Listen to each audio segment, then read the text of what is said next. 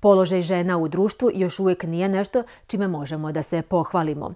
Dok traje proces postizanja ravnopravnosti polova, mnoge žene same se organizuju kako bi postale aktivnije u okviru svoje zajednice. Jedan od načina su i organizacije građana, odnosno udruženja kroz koje je moguće delovati u gotovo svim sferama života. Tako je u Vukovaru pre godinu dana zaživelo Udruženje žena Jelica. Osnovano je sa ciljem da okupi i poveže žene iz Vukovara te da kroz razne aktivnosti osnaži njihov položaj u zajednici.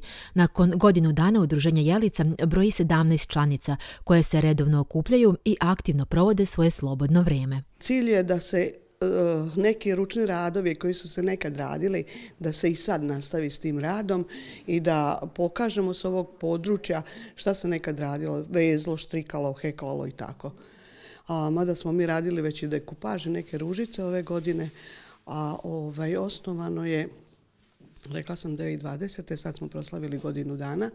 Svojim imenom ovo udruženje neguje sećanje na prerano preminulu Jelicu Pajić iz Vukovara, koja je svojim životom i delovanjem dala primer žene borca i pokretača unutar srpske zajednice u Vukovaru, a i šire.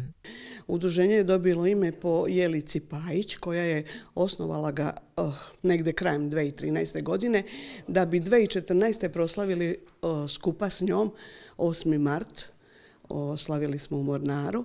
Posle toga je ona otišla u Knin da bi nastavila to i da bi tamo osnovala udruge žena koje bi, ovaj, koje bi to isto tako radilo s onoga područja, da bi se to i tamo, da bi i tamo oživilo. Da bi se ona nakon dva, tri dana razbolela, bila je teško bolesna, ležala je četiri godine nepokretna i te četiri godine to niko nije uzeo da radi. Najveći inicijator je toga Srđan Kolar koji je i, i to hteo da se osnuje ta, ovaj, ta udruga.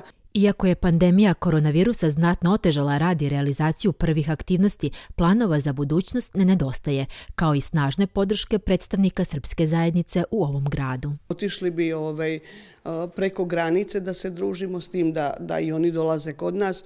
Sad bi možda za za početak išli u kolo srpskih sestara u Beli manastir da vidimo šta one rade, šta bi nam one pokazale i da, da i mi počnemo možda nešto novo da naučimo pa da i mi počnemo to da radi. Podršku veliku daje zajedničko veće, da, e, zamenik župana, Srđan Jeremić, uh, zamenik sada, gradonačelnika, Kolar, Srđan Kolar. Članice ovog mladog udruženja vreme provode u ugodnoj atmosferi u kojoj nastaju ručni radovi, rađaju se ideje, nova prijateljstva, a istovremeno neguju stare vrednosti. Jako je bitno ovo druženje da bi sakupili još žena, da bi žene izašli iz kuća, da bi došle na druženje, da bi radile ove ručne radove, da bi mlađe žene potaknuli da nam dođu, da ih naučimo, da nešto urade, da ostane nešto iza nas, iza mlađe generacije. Koliko evo jedna žena ima slobodnog vremena i po vama da li ovo pravi recept kako da ga provede? Evo da kažem iskreno, u ovim godinama, u, u srednjem godinama, svaka žena ima dosta vremena. Imamo, znači imamo naše unučad, imamo kuće i tako, ali ima dosta vremena da nađe, da, da bi sakupili te mlađe ženice, da im pokažemo kako se veže, kako se štrika, kako se kroji, kako se hekla, sve, sve ručne radove, kako se nešto kuva, kako se nešto priprema. Eh, kako trebamo napraviti slavske kolače, kako se treba držati slava, eh, Božić, Uskrs i sve tako. Nekako se nalazim ispunjenija i slobodnog vremena, što je rekla koleginica, svi mi možemo naći zato i mnogo se bolje osjećam kad dođem, podružim se sa kolegicama i naučimo nešto.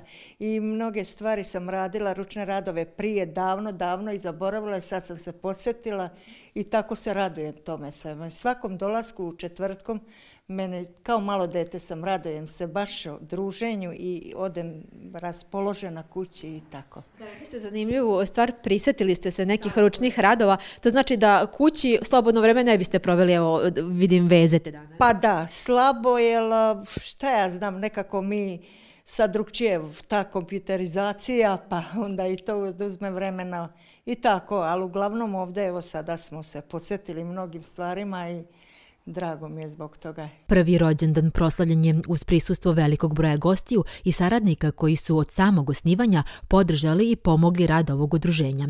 Podršku radu svojim su prisustvom dali predstavnici političkog i društvenog života Srba, brojne žene koje sa istim ciljem deluju u okolnim mestima, udruženja penzionera, kulturno-umetnička društva te gosti iz Republike Srpske i Srbije.